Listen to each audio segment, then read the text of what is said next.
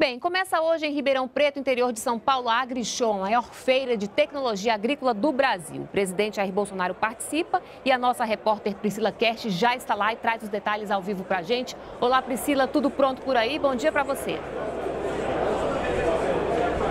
Oi, Carla, bom dia para você, bom dia para todo mundo. Tá tudo pronto por aqui, sim. Os portões foram abertos às 8 horas da manhã e o fluxo de carros é intenso até aqui. Isso porque essa é a maior feira agrícola da América Latina. A AgriShow, que está na 26ª edição e acontece aqui em Ribeirão Preto, no interior de São Paulo.